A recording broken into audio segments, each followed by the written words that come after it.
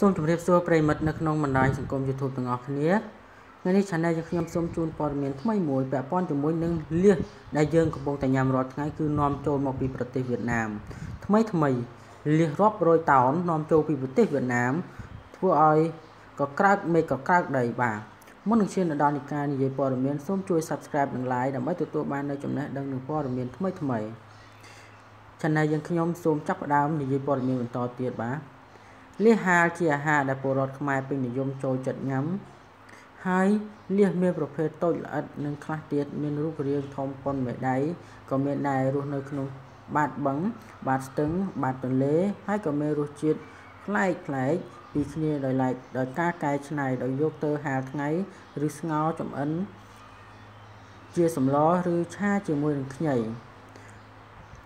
ប្រកបទៅដោយរសជាតិឆ្ងាញ់ពិសាលីហាល ដោយដោយការចំអិននៅនឹងកម្ដៅថ្ងៃដែលប្រជាពលរដ្ឋពេញនិយមទទួលបានច្រើនហើយលះ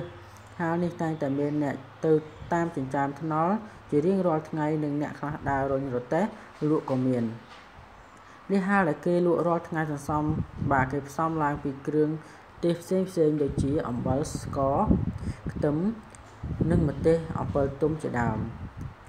តែលះហាលទាំងអស់នោះមានប្រភពមកពីខាងណា តាមរយៈបង្ហាញវីដេអូមួយនៅលើបណ្ដាញសង្គម Facebook ដែលនិយាយអំពីការនាំចូលគ្រឿងលៀសទាំងនោះមកពីប្រភពប្រទេសវៀតណាម ដែលគេនាំ